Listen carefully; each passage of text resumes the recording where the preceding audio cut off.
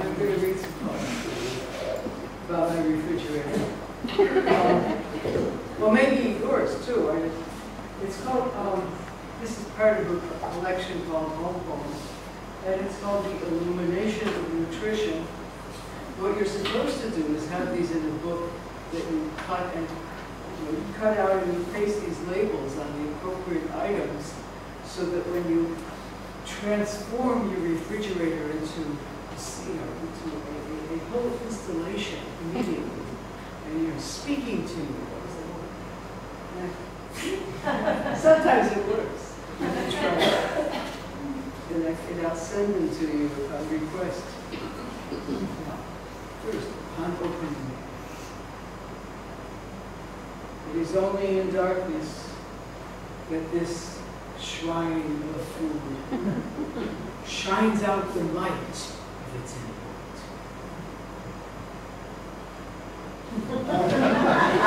Especially when it's Sounds empty. It's hard to polish. Milk. So much of what you know of love you learned in my consumption. Eggs. A dozen individuals nestled here in this tray, each an entire being willing to sacrifice our boundaries to unite for the sake of this recipe.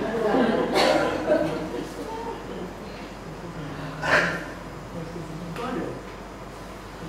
Slide your finger over my smooth back. Do I not give all the others this door?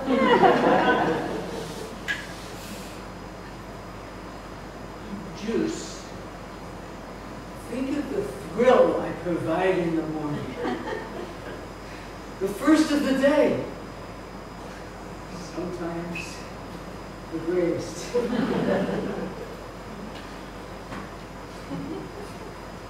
Ice cream.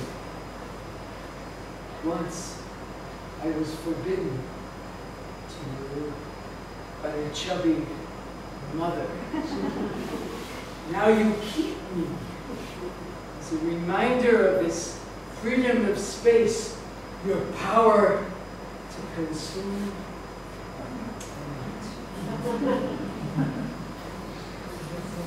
Unidentifiable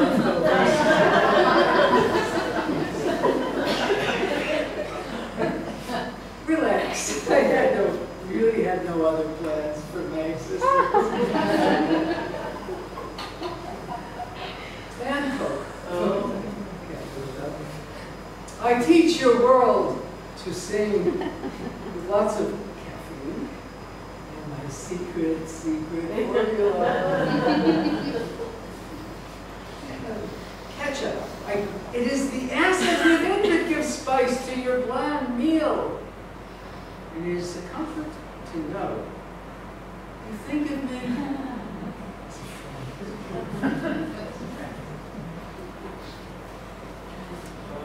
Oh. Whatever I do to blend with my surroundings, the humility of my origins cannot be translated. Here comes the earthy. Vegetable drawer. Before you open, do you really want to know what has been growing here since the last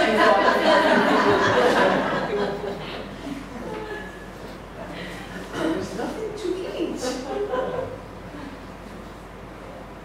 What is missing is far more present than what is here.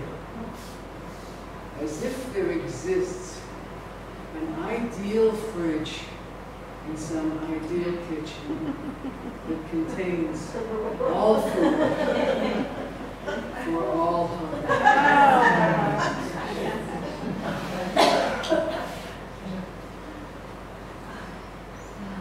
Cheese. I claim neutrality in cholesterol. What do you claim for me?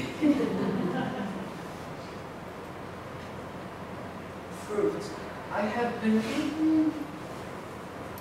doctors and poets, sinners all, and forgiven their pleasure in my destruction. The fridge. Says fridge. Lines unclosing the fridge.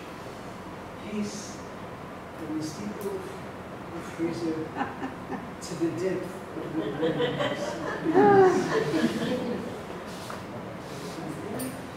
This now, let's, let's get off this. I, I've taught over so many years in this room with a PowerPoint that I couldn't do anything without it.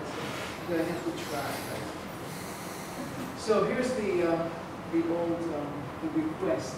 This, what I have to. It's the toilet poem.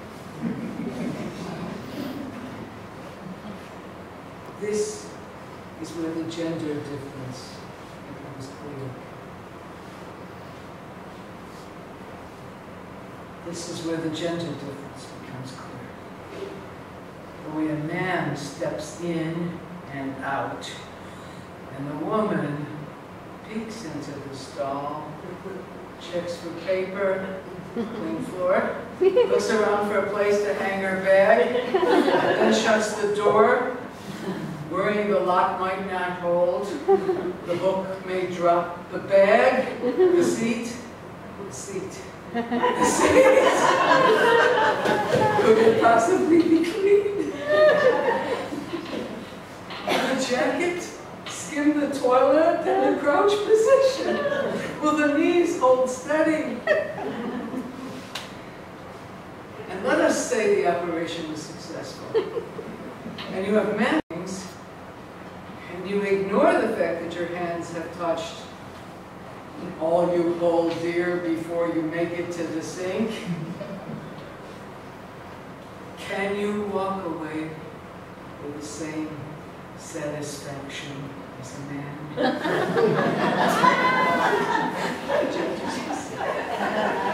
Um, Wow. It it was hard enough to follow, I have to tell you. It was hard enough to follow Celia and Sabine, but to have to precede Sean Edry.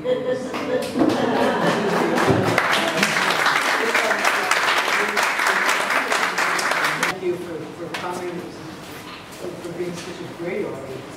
I'm going to say that first. Uh, earth, earth. No, I'm going to start with water uh, just to mix it up. Not fun. There are times I lose my life to the sound of water. Filling the kettle, I listen to how it flows into the growing pool. Until the vessel spills over and someone exclaims, What could you have been thinking of? And I reply, almost absent-mindedly, water. It's not winter yet, even though it feels like. We're still in autumn, so I'm giving you an autumn poem bird. Autumn. It's always been a time for sowing, allowing the earth to soak in the depths of summer, to quicken new births. Poets too sometimes return to the earth withering to discover they cannot engender themselves anew. Um, you know, everybody has a Christmas tree outside house, right? Here it is, the tree. The poem is called Roots.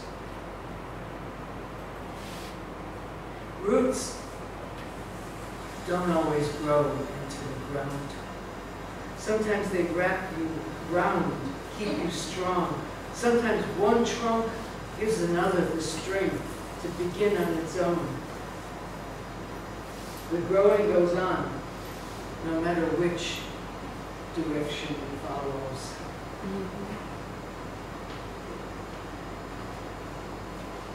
I am earth because I, there's this poem, there's this book that just came out. You can get it on Amazon and uh, when it comes out officially on the 1st of December, or if you want to do it in Hebrew, it's in Steimatzky. But these are, these poems are from the book about the Galapagos, and it's about, it's more of a, a kind of dialogue with Darwin about, you know, when Darwin came back from his trip to the Galapagos, he wrote his theories of evolution.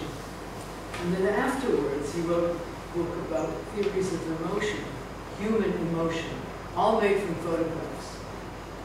Uh, and the whole idea of human emotion and the way it interplays with nature and developing nature and the way it affects things that, uh, that change uh, was really important to me. And that's what this book is about. But then it's also because my husband back there, uh, Ezra Gut, took some great pictures that seemed to flesh what I was saying. The the Enchanted Islands. See, see, a lone flamingo. In a clear lagoon. Kisses the image in the pool. As if there was no one else in paradise. Melville said that Galapagos, human non Herman Melville said that Galapagos was heaven and hell. It was mostly hell. And this guy, who was after me, um, proved it to me the day of the iguana. I don't know who began the staring, the staring match. I've been going through these walks like a normal tourist, admiring colors, grace, sweet maternal gestures, a lost pup, a fatherly booby, a thieving frigate bird, anything that approaches the human in its behavior. Like the fact that they do not move when you come by. Sitting on the trail as if it had been made for their own pleasure. A bench in paradise. This iguana catches my eye. Not like a lover, but a wiser being, a charge of being, and my curious gaze, a challenge to his older authority. But he does not agitate his head, as I would if I had been a male iguana after his harem. He remains still. I listen to the naturalist discussing volcanic remains and keep my eye on the iguana, he on me. I move to one side. Something in that eye stays keeping me entranced. I move back, watching. He spits a wide spray forward jump. The naturalist explains. He's sneezing, releasing the salt of the algae he consumed. And I keep looking, sure that if the iguana isn't telling me to get off his path, I'm an idiot and I don't deserve to share his space at all. The spray comes again and again, and I relinquish all mastery. No matter what the learned naturalist says, three snorts from an iguana, I know my place. I know where to belong. the comfort of kings, I just don't want you to think iguanas are all bad. So, here's this guy who's, like, you see those apples, they're fermented, they're poison apples to humans, but for iguanas, they're poison. He's drunk, uh, they're fermented. Anyway, now here is one who I can relate. Face white with age, hailing the knowledge of us with studied indifference. There will be another group of tourists. We'll Just, just take some more pictures of those iguanas here. Nice guys. After that. I just fell. It's like, what am I What is this is the next one, the last one. This is our party poem for the evening. It is called Shells. How that weird fear overtakes me. Even though it is clear the giant tortoise trudging slowly in my direction means only good, kind of easy greeting in his eyes. I move away, and when he turns towards me, back off again, stuck behind a crowd, primordially infantile. It is only in a photograph, a poem, that I dare the line. Thank you all.